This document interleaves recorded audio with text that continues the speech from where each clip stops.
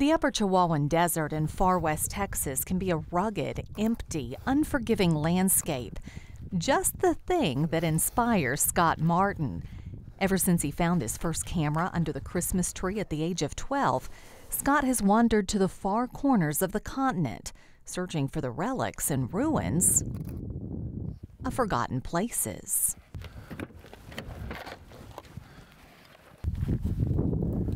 Well, I like this guy because there's nothing around.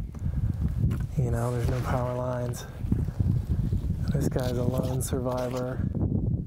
Only thing is, with almost no daylight left, it might seem Scott is running late, when actually, he's here a little early. It's really nice when the sun goes down, everyone else goes to bed, you know, and you get the whole place to yourself.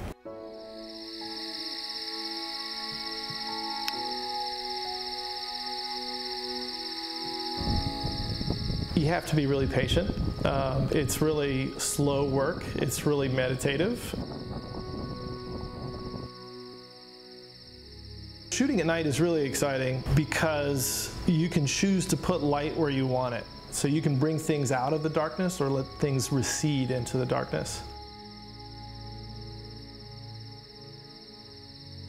While the rest of the world is asleep, Scott Martin spends all night waving, dancing, and dodging for one photograph.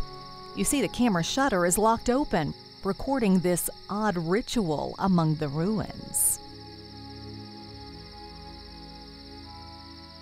When you are engaged with your creative process and making an image at night, it's totally exhilarating. You know, it's better than coffee, it's better than NoDoz. If you're hungry, you forget about it.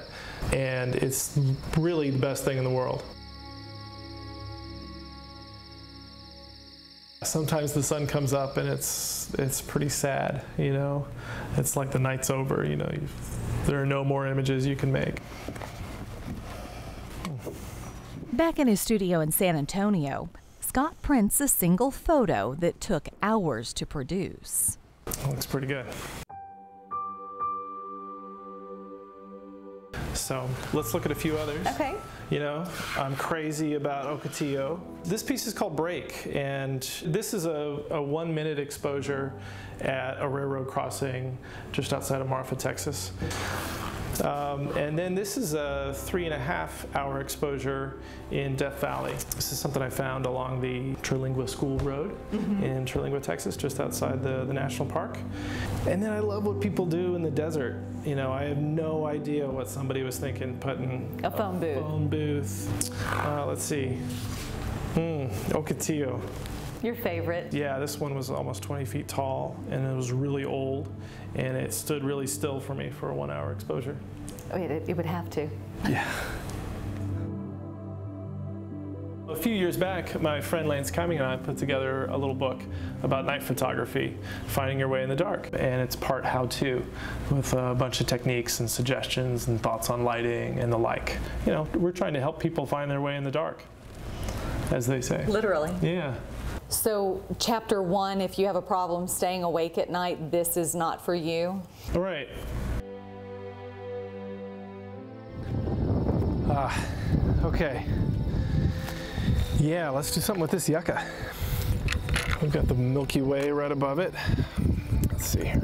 Uh, I think if we get down really low, there's something about a photograph that if I feel like I've really spent a lot of time and made it, mm -hmm. that seems a lot more satisfying to me. So, you know, these photographs feel like something I've made as opposed to taken. Oh man, that is so cool. Okay. Scott says the desert is at its best when you can't see anything at all.